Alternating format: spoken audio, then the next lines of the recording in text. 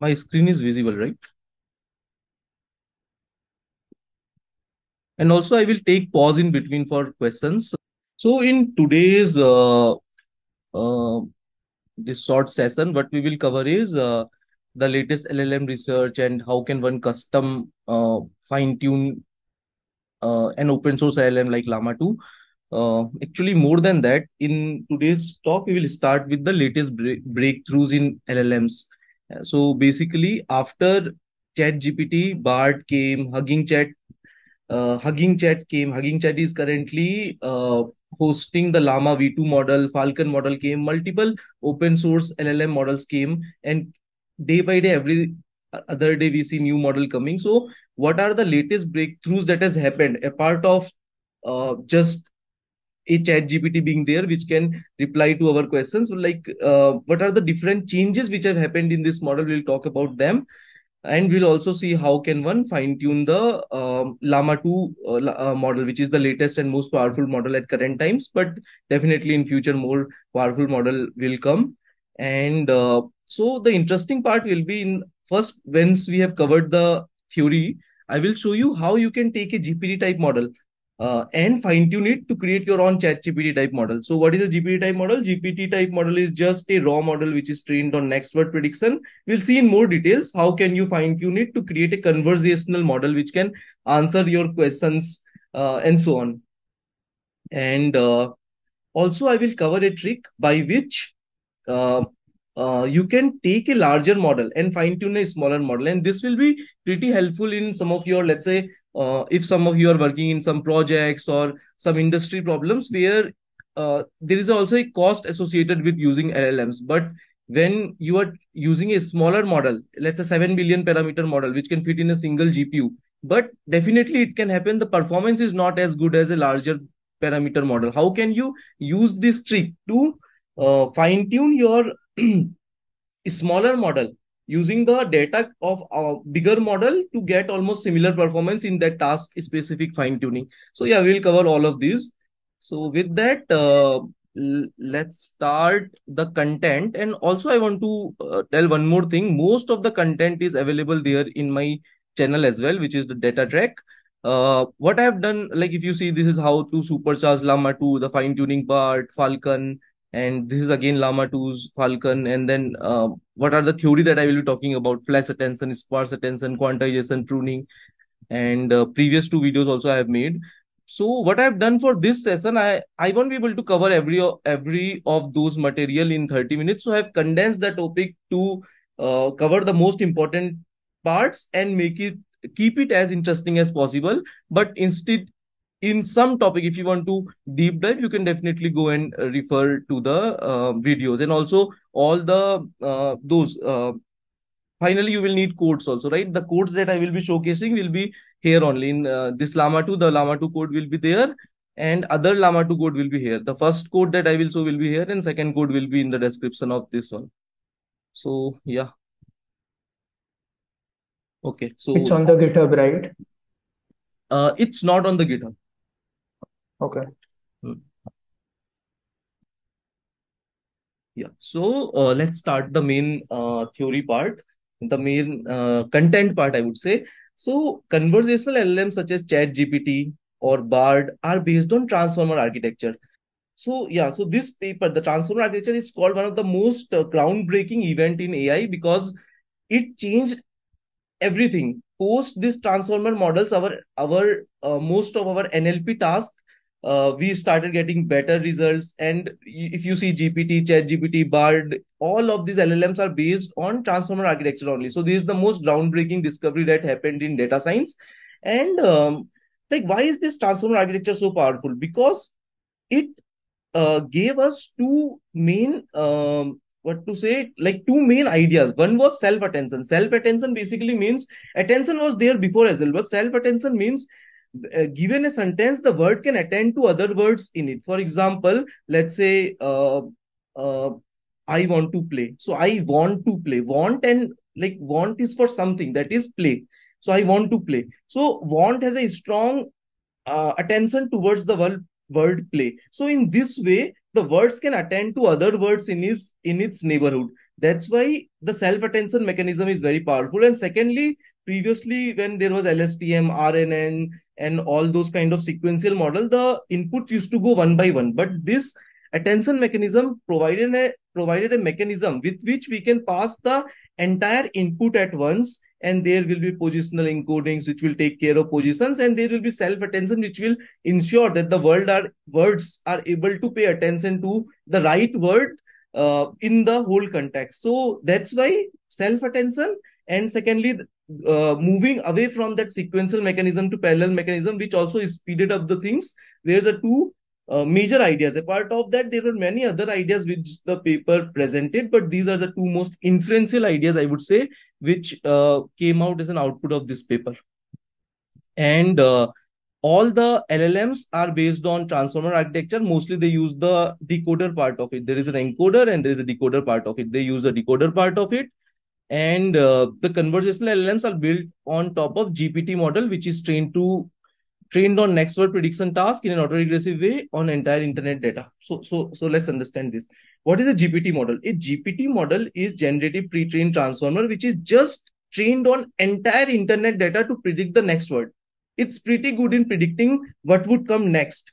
And, and it's trained using autoregressive way on the entire internet data. Autoregressive means you don't have to have a supervised data set as in it will just take the next word and try to predict it. Then take the take the that next word would now become the input. It will again predict the next word next word and so on. Now this model is very powerful because it has learned from entire internet data. And secondly it has so many pa parameters that it will memorize um, all the um, all the data in its memory. So so you would have thought like when you ask something to chat gpt why is it able to answer? Because it has so many parameters and it's storing those information in those parameters. How? We don't know. But those parameters are the memory uh, where it stores the learned information. So so we have see, uh, understood this. Gpt model is just trained on next word prediction on the entire internet data. But what openai chat gpt people did. They wanted to create not just a next word prediction model but a question answering uh, model which if you can give a question it can reply you with an answer. It's more conversational in nature. So what they did they took the base gpt model and fine tuned it on meticulously designed question answering dataset. That is conversational dataset. And there were more details there are more details to it which i have covered in some of my videos. Here just quickly touching it. Like fine tuning process also includes optimization like reward model. For, for a question there can be four or five possible answers. So which is the best answer? So human would have labeled it and how the hum, human is labeling they create a model out of it which becomes a reward model. So depending on the answers the model will reward which is a better answer out of the four.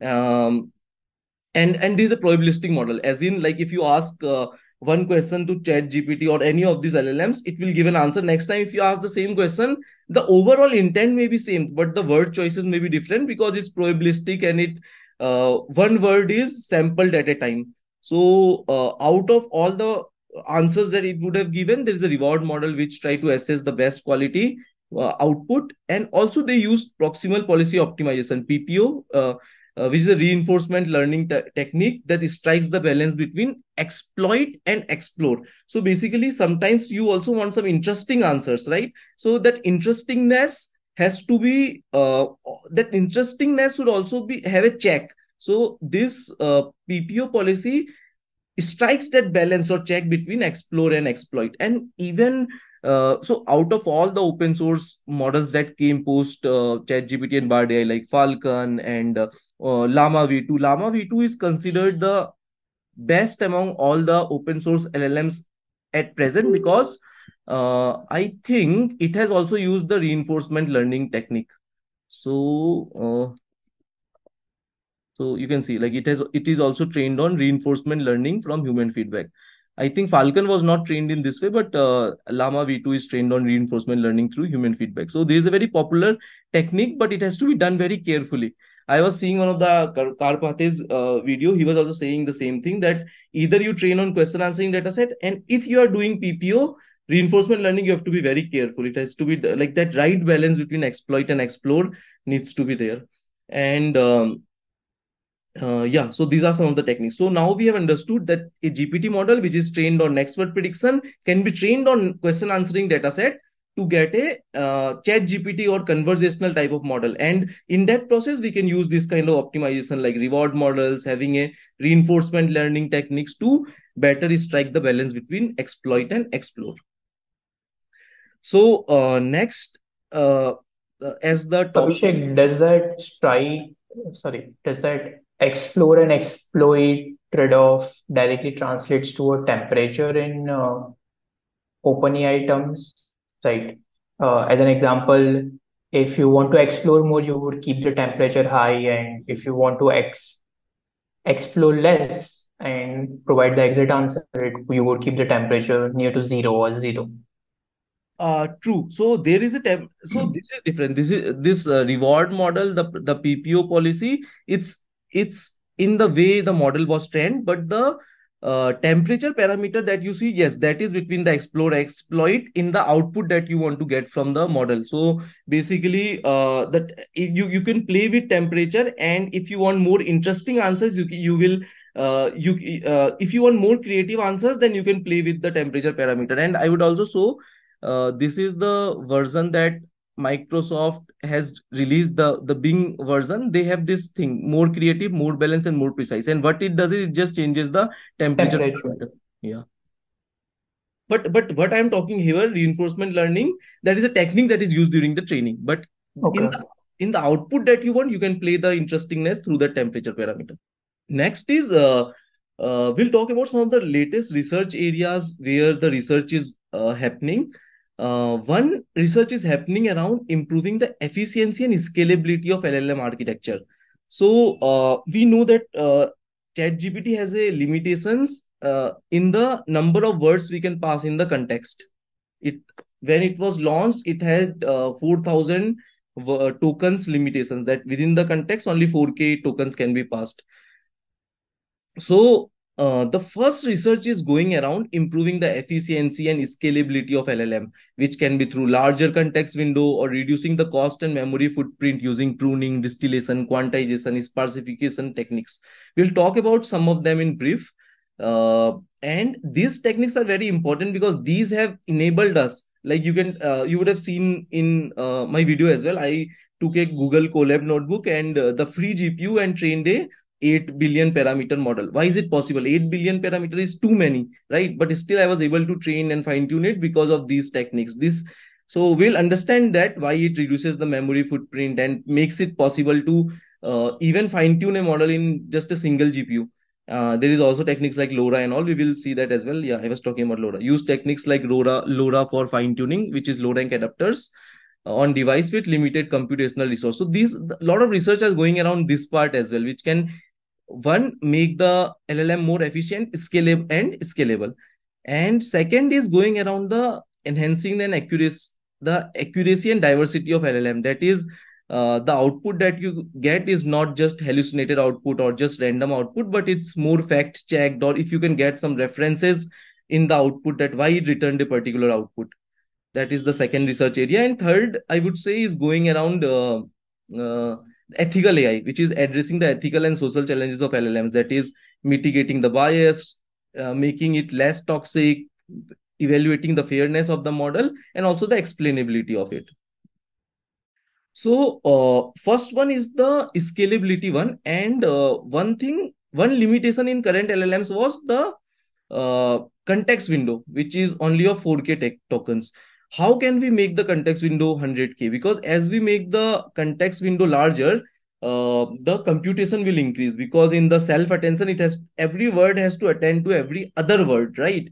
Um, and find the importance. So computation will increase. And also how efficient the model will remain if the context window is that large we don't know right? So some of the key ingredients which have still made the large context window possible is one one technique is just train the model on 2k tokens context that is smaller context where we can train it and fine tune it on a larger context so that um, the training time is lesser because you're training on a smaller context but during the fine tuning part you can use a larger context. This is one trick.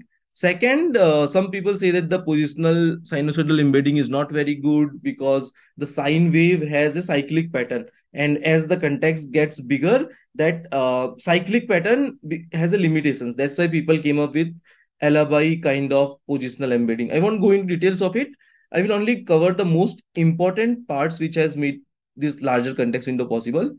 Uh, so there, I think we should not uh, definitely call out sparse attention. So as I was saying, if the context window is larger, every word has to attend to every other words, and it's a compute extensive thing. So the idea of sparse attention is that the word won't attend to every other word. It will only attend to the most important words in its neighborhood. And this will reduce the number of computations. And what can be some of the approaches? The approaches can be as i was saying it can be a sliding window. That is it can only attend to k of its neighbor in left and k and k of its neighbor in right. Or other method can be it can be a graph based uh, relationship between elements. And it uh, a a uh, word will only attend to the most important words which maybe some graph model is able to predict that these are the words which can have more importance to. But not all the words will be attended to. The importance won't be calculated with each and every word. And here when i call uh, say importance actually if we uh, if if you know the uh, uh, transformer architecture there is key, query key and value vectors. It's the it's an idea which is uh, motivated from uh, um, retrieval that is when you search for something you you have a query. And out of all the keys uh, you will uh, the, you need to find which key is more important. So q and k gets multiplied query and key vector. And uh, like once we know that which keys are more important those value vectors uh, we will give more weightage to. So first q and k gets multiplied and then the output gets multiplied with the value vector. In that way the importance comes out. But here we will limit it. We won't calculate the importance with each and every word but we will only compute in either the neighborhood or through some other heuristic methods that's the idea of sparse attention and it reduces the computation by a large extent and Uh, go ahead. Abhishek, I had few questions Go ahead. around this. So, uh, correct me if uh, I'm wrong somewhere, right? When we talk about uh, a context window, we are talking in terms of the, it would come into the picture at the time of inference, right? When you are uh, talking to LLM and an LLM would generate a response and you would get a, you would give it a context, right? So uh, it will come uh, both in times of in time of inference as well as training because in training also uh, in training also the model needs to learn that how to give importance right because Mm. it, during the inference it has already learned how to give importance but how that uh, but making it learn that how to give importance what should be the so when I say q k view v these are uh, query key and value matrices attached to each attention head. And these parameters have to be learned. So during the training the parameters will be learned. And once it has learned the parameters during the inferencing there won't be any parameter changes. Only those parameters will be used to uh, perform the task. And uh, when i say sparse attention in the training itself the train um, the um, methodology will be to give uh, not to attend to each and every word and learn parameters in that way and those learned parameters will be used during inference just to predict an output Okay. Hmm. So context window is decided at the training time only, and that's what model supports in the future. yes perfect yes Okay. Uh, cool. I had few more questions, but I think I'll keep it at the end. Uh, sure. it was more regarding the RAG approach, but yeah, yeah yeah. We will we will we, we can do one thing. We can also take pause in between. I will take pause in between where we can take some of the questions. And uh, like uh, just let me stop share for a second. Is are there any questions in chat? No. Okay. Guys like if you have any questions please put it in the chat window and we'll cover all of them. Sure and also i will take break in between for questions. Uh, think of it as a uh, discussion that is going on. So we'll, we are just discussing some topic and if there are any good questions uh, we will take it. And many of the videos that i make are from some of the questions that someone would have asked me how to do this. And i would also think like ye to acha question hai. How can we solve this particular uh, problem? Not just related to llm any problem any particular problem they would uh, want to discuss with me and then i will end up creating some solution out of it and um, making a video out of it. So definitely it's a discussion and it's a two-way learning. Uh, like the question that Utsav asked, I had to also think a little bit to answer. So yeah, it's a two-way learning. We just discuss and that then some idea comes, right? So let's we'll keep uh, pause in between where we will have that one-on-one discussions as well. Next is uh, more of a hardware uh, optimization, which is flash attention. Uh, in flash attention, what is done is um, the GPU is the algorithm is optimized for the GPU. Uh, the GPU can memory can be divided into main memory of GPU, GPU high bandwidth memory, and GPU static RAM. Static RAM is the smallest, and then uh, bigger is the GPU high bandwidth memory, and then is the main memory. Now, if you, as I was also telling in the sparse attention that Q and K gets multiplied, we get a matrix. For that matrix, we calculate the softmax. And then that softmax is multiplied by the value vector, and that becomes our final output for from that attention head. So what happens in that standard attention implementation uh, of the first transformer paper? But now we need to do things differently because we want to uh, we have huge parameters model. We want to run in a smaller machine smaller gpu so optimizations have to be done. And what is that optimization? This algorithm itself was tweaked to get the same output but in a more gpu friendly way. How it was done was i will just cover it in brief. Uh, so as i said q and k gets multiplied. It is stored and again softmax is calculated and uh, stored and whenever something compute happens, it happens here and then it is stored in the high bandwidth memory. And why are we storing every time? Like, why not if we know eh, this multiplication, we have to put softmax and then multiply it with the v vector? Why don't we simply do it and uh, store it, right? But there is a challenge. Why want why do why do we store? We store because in the backward pass, when the gradient learnings happen, then in that time these metrics are needed for the gradient learning that's why they are stored. But what flash attention did, it did two optimization. One is uh, uh, that the to calculate the softmax. Softmax, like uh, so how is softmax calculated? If you have this kind of vector, you need to uh, like take exponential exponentiation of the value divided by the exponentiation of all the values. So when I say all the values, it needs the whole output. It needs the complete S matrix to be available. Then only it can compute the softmax. But with flash attention, they use tiling. It's a trick by which the softmax, uh, we don't need the whole input to be accessible to compute the softmax. We can compute softmax in small tiles. And if we uh, see the final result, it's same as calculating softmax in the whole input. So this is one tiling mechanism, some mathematical trick they use with which softmax can be broken into uh, tiles and second trick that they used was instead of storing the now we have like uh, already solved the softmax part. Now the second thing was we were storing the metrics because they were using getting used in backward pass for gradient learning. Second optimization it did was let's not store the metrics let's recompute it whenever it's needed. And what happens because of this the number of floating point operations increases because we are recomputing it.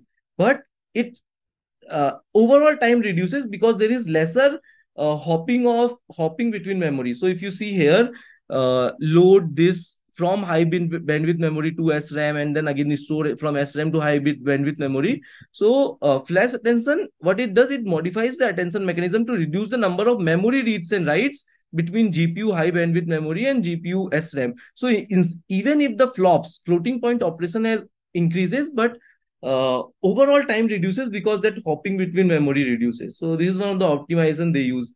And also sometimes people ask me that um, like a bit different from what we are discussing. Um, one should be machine learning engineer or one should be data scientist. I feel, I strongly feel in today's world, there is, uh, we can't differentiate between ML engineer or a software engineer or a data scientist because if you see, uh, to make, to optimize LLM, we can't just do uh, changes in the algorithm. Sometimes we have to do hardware level optimization. So the knowledge of having like the engineering right engineering skills and data science skills both are needed. So i don't see data science or being a data scientist or machine learning engineer being a two different things because in today's world one has to adapt with all these changing uh, technologies and while adapting one has to learn everything that uh, let's uh, key uh, without sparse attention what was the compute what was the number of computation and with just this uh, neighborhood consideration how much the compute reduced? What could be the optimizations in memory one can do in flash attention? And it it's a engineering skill more than the data science skill. So one has to be good in both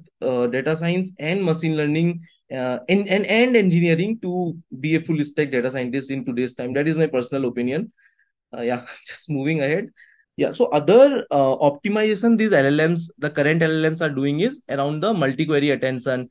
Uh, so what is multi-query attention? The main transformer paper which i was uh, talking about has multi-headed attention which is a separate k q and v vectors for uh, each head. Each head will have its own key and value matrices. But multi multi query attention says that we don't need separate uh, uh, k v and q for each head we can just have one key value head and just the query heads can differ. That is query vector will be different but key and value vector for, for all the heads will be same. And what it does is it just reduces the memo- memory right? Like let's say you have 96 heads in your uh, llm now for each head i'm using the same uh, uh, k and value matrix then uh, the key and value matrix is shared which reduces in 96x reduced memory consumption. And they say that output is not uh, the quality of the llm's output is not much uh, degraded because the query vector is different. So the query matrix is different for each head. So it's called multi-query attention. Basically where the multi-head attention had separate key value and query for each head we are just having uh, query heads different but key and value same. And it reduces the number of computations. And llama 2 even goes one step further and it uses uh, attention. It uses grouped query attention. Even i haven't gone much detail into it but uses group query attention. It's similar to multi-query attention i believe but i haven't gone much into details of that. And uh, fourth point is very uh, obvious that use a larger RAM, G larger RAM in GPU and as well as a uh, high memory GPU because these larger parameter models will need more uh, mem GPU memory. So uh, that was more uh, around uh, the larger context window like sparse attention, multi-query attention, flash attention, these techno and using this trick of training on smaller context but fine tuning on longer context and replacing the positional embedding with some alibi, alibi kind of motivated embeddings or solves the problem of large context window. That is it's it makes the model more scalable to larger uh, more tokens. Uh, second is more around reducing the cost and memory and uh, i will very quickly touch upon that. So how to reduce the memory footprints? One idea is pruning. That is after the training remove some of the weights or layers which are redundant or not so important. How can you find not so important? You can see the uh, like there are techniques by which you can see the gradients how much gradients update happens because of those layers or those weights. The not so important ones you can prune it. So this is one technique. Second is knowledge distillation. Knowledge distillation is like uh, uh, if i have to train uh, a 7 billion parameter model then instead of training it from scratch what we can do is we can use the 70 billion parameter model and use the learnings of it to train a smaller model. And it's seen that when training from a scratch it doesn't learn that faster and interesting patterns as much it learns from the learning of a uh, larger model. And if you think why is that? A larger model would have already identified the pattern removed or or bifurcated the um, uh, noise that this this is a pattern and this is a noise. Now when we train a smaller model from scratch it will have to relearn those things. And also it has not that much power because it has lesser parameters. But when you already just train it on the learning of a larger model it is able to learn faster. So uh, distillation is uh, one such technique. I have a video coming on this topic as well. And sparse attention we have already seen that is not pay attention to all the words but only to the important words is the distillation based on that Stanford research guys that came up with this? Uh, is that the no, no, no. That is flash attention. That's flash. Okay. Other technique for reducing the memory footprint is quantization. Here, I would like to give some focus because if you, when we'll go to the fine tuning part, when we'll see the codes, we will see that the models are loaded in 8 bit or 4 bits. Uh, so what is that? Like, why is it, what has made it possible to load such huge parameter models in a single GPU. And one, the idea is quantization. So the quantization is a technique that reduces the precision or uh, bits of the weights and activations of LLM. So, so, so let's understand it in more details. Uh, when we say a neural network, neural network consists of various layers, and each layer has its own parameters. These parameters are nothing but weights, and those weights, let's say, is between minus one to plus one and uh, that weight can be anything in between. It can be 0 0.2345 something like that right? So we know that to store these weights like weights or the parameters of the model we need float floating point data type right? And how much memory a floating point data type takes it it depends but mostly uh, float takes 32 bits. 32 bits to store the uh, one value which is one parameter right?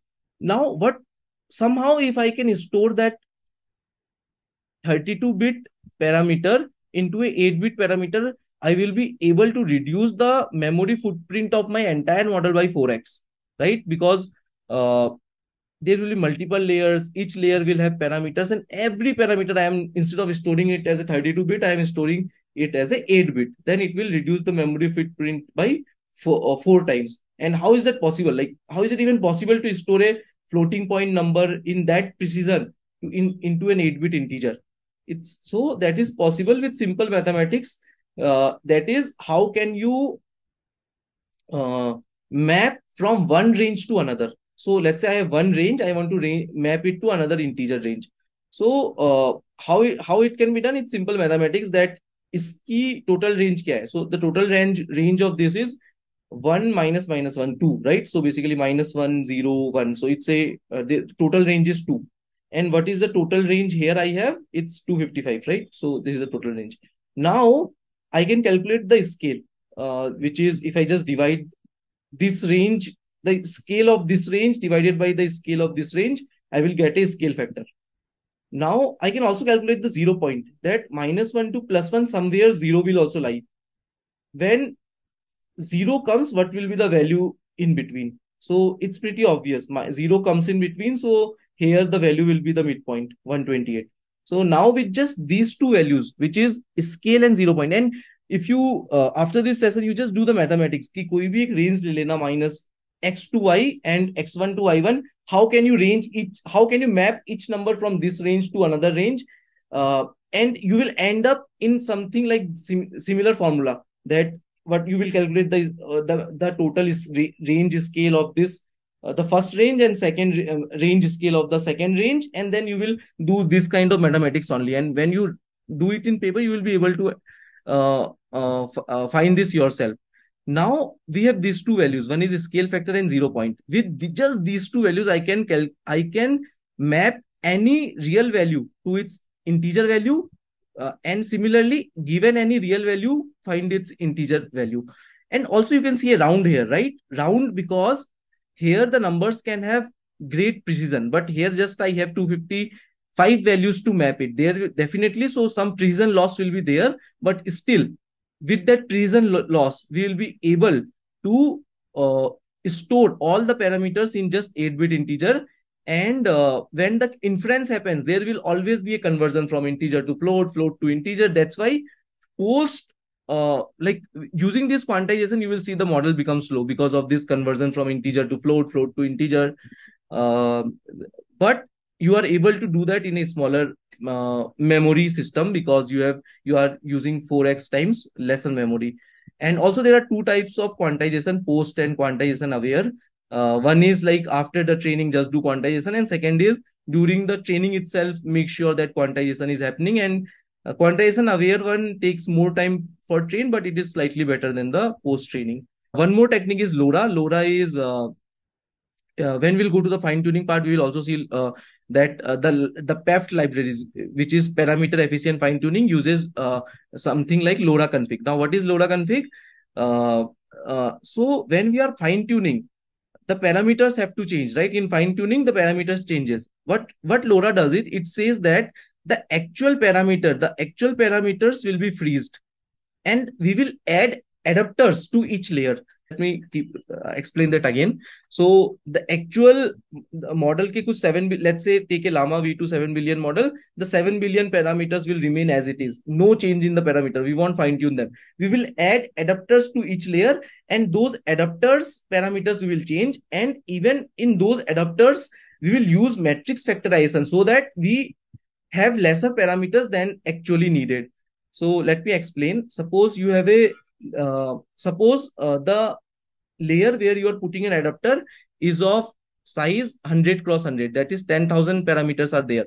Now i need to put a adapter which will also have 10000 parameters right? Because then only w plus delta w will happen and delta w is the gradient. So as many parameters i have i need those many gradients uh, those many uh, delta w or gradient parameters also to uh, to uh, do the final changes in the uh, in the uh, uh, learning. So basically something like this. If you if you know the gradient descent uh, w ke sath delta w gets added. And delta w i need 10000 parameters again. But what LoRA will do it. It will use matrix factorization. That is instead of using 10000 parameters it will use two matrix. Uh, so so think of it in this way. I need a delta w matrix which is this uh, tall and fat so one way is I can you uh, learn these parameters or I won't learn these parameters. I will learn two different metrics, which is one is tall and thin. Second is short and fat. And what will happen if you see the matrix is 100 cross 10 and the second matrix will be 10 cross 100. If you multiply 100 cross 10, 10 cross 100, you will get 100 cross 100, which is actually 10,000 only.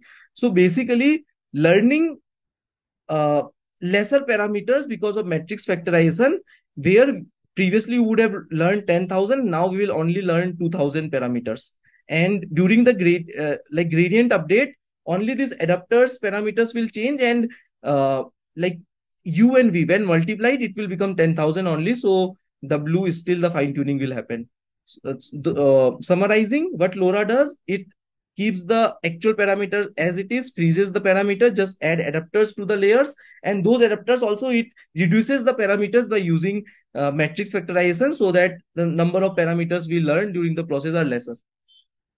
So I think we have covered most of the critical and tough theory part. Now it's just the simple part is left and then we'll simply jump to the um, fine tuning. So, uh, any questions on efficiency and scalability of LM? Just quick one, two questions. Uh, because this was the most critical part which I wanted to make it keep it interesting because this is where people may might get bored. Iske baad all the interesting part are there.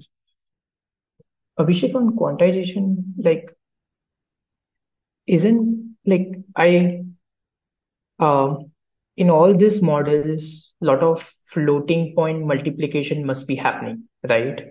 Hmm. So that domain to codomain uh, mapping that you explained from float to given 8-bit integer mapping.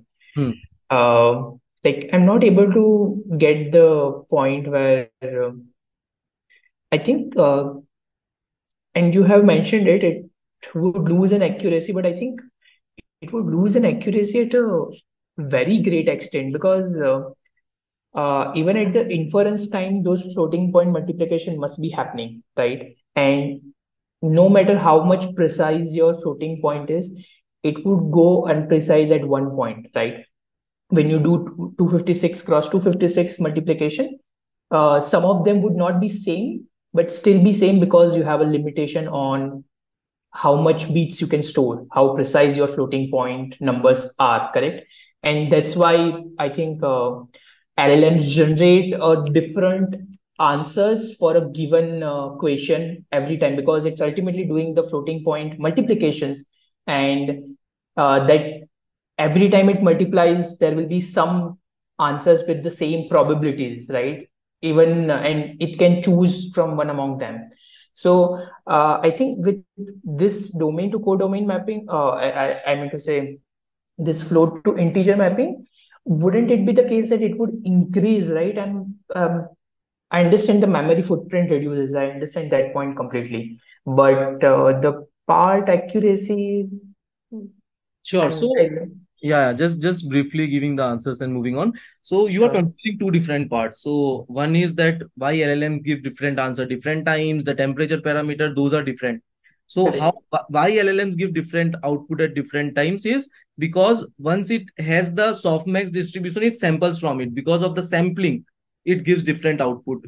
Like you, if you have numbers, you if you have five, uh, let's say you have a dice, every time you roll, you get a number and that that word gets sampled. So it's because of the sampling, which is probabilistic in nature, it gives different uh, outputs different time. That has nothing to do with quantization. And what is quantization? Quantization is basically that all the 7 billion parameters are in floating points. Instead of that, we will uh, read it in integer, uh, like we will convert, map it into integer uh, range and uh, uh, read it. Definitely, there will be a precision loss, a lot of um, uh, accuracy loss, but it's seen that it works because and if you ask me why it could be because there are so many parameters so many layers and we are doing the um, like uh, conversion for each and every layer so uh, it it works it works and uh, definitely there will be precision loss lot of overlap but it's seen that it it works Okay. Um, okay. Sure. Is there a example, real life example on this Yeah, yeah. We'll, we, we, we'll, we, in the fine tuning notebooks, we, we will we'll do a 8-bit quantization and then Oh, nice. fine tuning. Great. Hmm. Yeah, no more questions. Sure. So, uh, this is the first research area, which is more around increasing the efficiency and scalability of LLM. Next, we will uh, quickly see that uh, how to make it more accurate and fact checked the output, right? So, some of the techniques used here are um, and and why is it important at the first place it's important because llms halluc- hallucinate hallucinate a lot for example i was asking it that give me some research paper from advertising advertisement domain. It gave me nice research papers the link of it and the author details. And when i clicked on link or searched for it those were random papers. Like those were uh, irrelevant and papers which doesn't exist. It was just making it out making out the author's name paper's name everything. It was it was hallucinating. Similarly, I asked it that give me this section, like section uh, X of this law. It gave me the details, and actually, that section which I gave didn't exist. It just hallucinated. And why it does that? Because as I was explaining to Utsav also, it's a sampling. It's just sample words and give some one word at a time, right? Uh, where it has learned well, it would give the right words, but where it has uh, like something of that doesn't exist, it will still just sample and give some words, right? So how to make make these outputs more fact checked and uh, maybe attach some link to it where it gave the answers from so that is the second research area the techniques used here is uh, one is like uh, like what google bard does when you ask it a question it gives you an answer and also gives you this kind of feedback like it don't like it or google it so in this type of feedbacks the model can continuously learn that where it is hallucinating it will have a strong penalty for hallucinating, right? Because of these uh, labels. And second thing, which I like and which I think is the future, is retrieval augmented generation. Till now, whatever Chat GPT, all these, all or all these LLMs are giving output is from the memory. In as I was saying, that it has learned the entire internet data and that is stored in those parameters of its. Now we call it memory learned output. But what if we can make it retrieval augmented? That is, when I ask what is XGBoost to the GPT-4 model, which has been integrated by Microsoft Bing, it also give me the references and uh, that where it get the answer from. So how that thing works is it can be done in two ways. Like uh, when I ask a question, do a Google, uh, Microsoft search, Bing search, or Google search. The important web pages also pass in the context, and when when you give an output, um, uh, also refer that which pages you referenced more. So in that way, for a question, uh, we will have the answers as well as references because in retrieval augmented LLMs, we are giving the web links also as a reference. So it can uh, link back that where that answer came from. So yeah, this is also called knowledge injection or retrieval augmented generation while just getting the LLM output from what is a, it has learned from memory is just memory based and uh, this is how the uh, accuracy and diversity sorry this is how the uh, accuracy and uh, fact check uh, like correctness of the LLMs can be uh, uh, enhanced. And uh, also LLMs have some bi bias problem. They are biased towards gender and other biases. They sometimes produce toxic and risky outputs. There is fairness problem and explainability. Like suppose an LLM give an output, why it gave a particular output. So there is also research around these topics. So um, uh, this is the last slide where I will cover the bias part like and the other parts in bias there can be gender age confirmation and cognitive biases so for example i asked an llm that which uh, career suits female better it says nurses doctor hr this kind of things it uh, gives as an output. And why is it biased for female towards a particular uh, type of profession? Because that is what it has learned in internet. The internet data itself has bias itself was biased. It would have learned that wherever there is a mention of nurses or names it's more of a female name. So in this way it would have learned from internet data that there is uh, gender bias and all. But what when we release these llms we should ensure that there is these biases are not there so how can that be done? Uh, there can be we can we can create like a strong penalty for gender biases and uh, we can have human labelers label those as a risky outputs and that is how that this it, we can mitigate. You know it's a research area in the, how we can mitigate these kind of biases gender age confirmation and cognitive biases toxicity or risky response is something like uh, if i asked an open source llm which was not the uh, proprietary version or int- uh, it, it, was more of an open source llm like, like the Dolly databricks uh, llm i tried. I asked it how to make a bomb bomb. It gave me all the chemical names and which is very risky and harmful right? It's against the ethical ai so for toxic questions detection or toxic output detection uh, again research can uh, is going on. One way is that you can have a toxicity classifier that only give the output if it passes the toxicity classifiers uh, tests or other way is that we can have human label data and act is and make make it as a strong penalty whenever it is violating uh, those uh, uh, training data where we have uh, trained it uh, to detect these toxic uh, outputs and again fairness it should be fair towards different group gender age demographics and around the explainability enhancement like in research is going on to find that if uh, a particular output is emitted, which words it gave more importance to. So these are some of the so so yeah, these are some of the research areas which are going around. Uh, any questions before we go to the practical part? Uh, have you explained, uh, sorry, have you explored any frameworks to do all this kind of things as an example to put the guardrails around uh, the LLM's answer, right? An auto already pre-trained LLM, as an example, OpenAI's LLM or Llama V2, right? And not at the time of training, but later on when it is generating answer, even after it has generated the answer, right?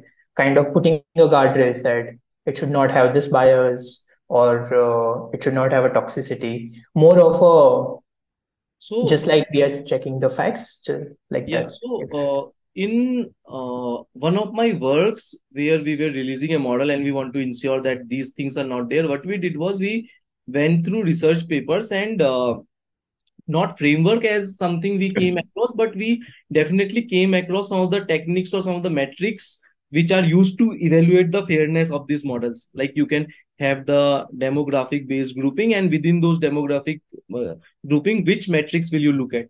So we use some of the ideas from those papers to uh, ensure that as much as possible our model is fair and wherever it's not doing good then retrain the model drop the features which might be um, uh, which might be leading to that kind of problem. So this kind of things i have done. Not exactly the framework but learnings from research paper and which metrics to look at those kind of learnings i have uh, tried. Okay. So next, what we will do is we'll go to the fine tuning part, and uh, here we will I will show that uh, loading the model in eight bits and all. So uh, what I did in this notebook is um, I took the product names, and this is from Instacart dataset. Instacart is a uh, Instacart is a data in Kaggle uh, dataset in Kaggle, and Instacart is a company which sells grocery items. So these are the product names. So I took this dataset, and uh, what I want is I want like we know that we uh, a uh, conversational LLMs is more uh, towards uh, question answering type of we, we can train it or fine tune it towards more question answering type of use case. Here question in my case is the product name. I want the question to be the product name. I will pass the product name and i want the department name as an output. This is a simple example i will start with.